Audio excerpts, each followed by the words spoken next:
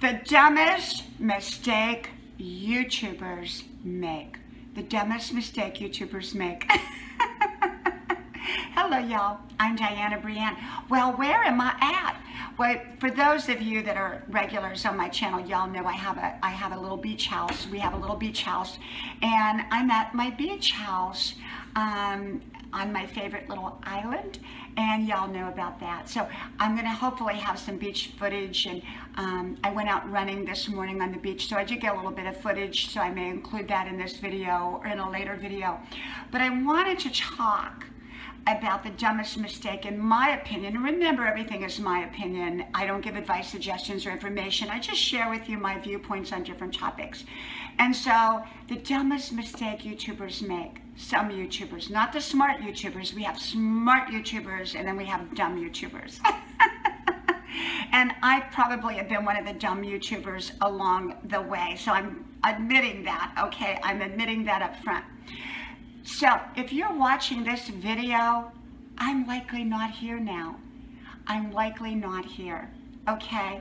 So what I'm saying to you is that the smart YouTubers, um, they usually record their videos, but they don't put them up where their location is um, designated. They don't put those videos up until later, after they're gone from where they say that they're at. Now, I'm not talking about like our regular home, which we don't normally disclose those addresses. I think most YouTubers know that. But often a YouTuber will go on vacation or as in my situation, to my little um, beach house. And, uh, and it's very, it's, it's a lot easier for the people that you would not want to show up at your doorstep to show up if they know that it's in real time. Now, if they know that it's a delayed video, like a week or you know a few days after you've left, then that's not an issue, okay? And so it, it does a couple things. It prevents people from going to your house when you're gone, and it prevents them from showing up where you're at, where they can easily find you. Now, we're not talking about people that we want to see, okay? We're not talking about close friends.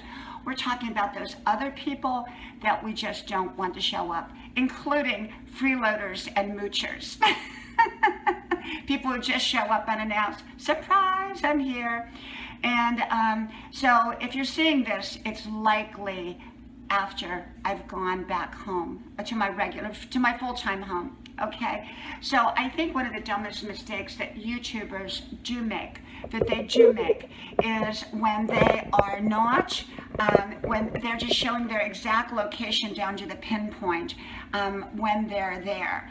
And I don't think that's the smartest thing to do. I think it's better to do a delayed. Now I know there are people that do it and they say there's nothing dumb about it, they're on vacation and so there's nothing wrong with doing that in my opinion if you have someone house sitting at your house and it's you know you've got the bells and whistles with the alarms and all that um, the security that's that's fine and if you're on vacation where you know likely no one is going to show up that's perfectly fine.